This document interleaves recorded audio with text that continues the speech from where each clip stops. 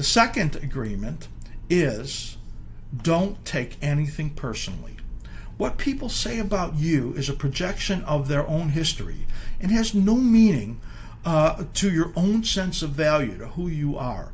People could ju- make a judgment about you, but it's based on something in their own life. They're responsible for their own actions as you are for yours. So if you think that you did something to get somebody in trouble, that they took an action, they're responsible for their own actions, and you're not any less than, so you don't take that personally if uh, you get caught in something uh, in, in, your life, you don't do it as well as you could, um, then uh, you're responsible for your own action. And it's about learning as you move forward. In trading, when challenges come, no, it's not reflective of who you are. Reject thoughts of how other people may judge your decisions. Uh, own your own mistakes and embrace them